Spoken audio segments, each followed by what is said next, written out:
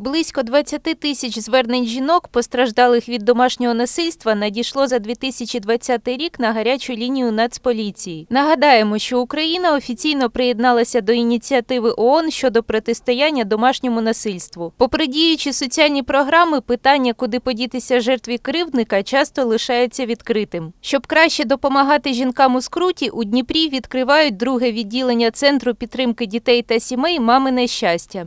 Що тут буде проходити? Жінки насамперед будуть надавати притулок.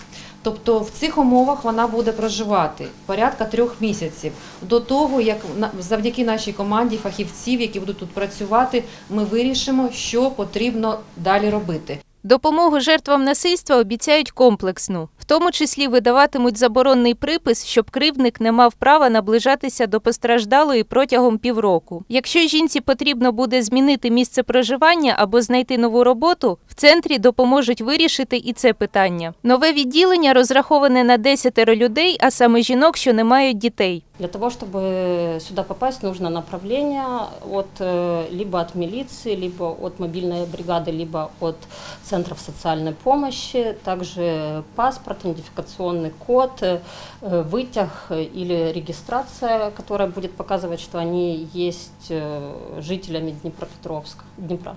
У центрі є дві кімнати відпочинку, кухня, їдальня та санвузол, цілодобова охорона. Офіційне відкриття другого відділення Центру підтримки дітей та сімей Мамине щастя запланували на 1 квітня цього року. Але і зараз по допомогу в кризовій ситуації можна звернутися за телефоном, який ви бачите на своїх екранах. Олена Пічуріна, Олександр Наумов. Новини 9 каналу.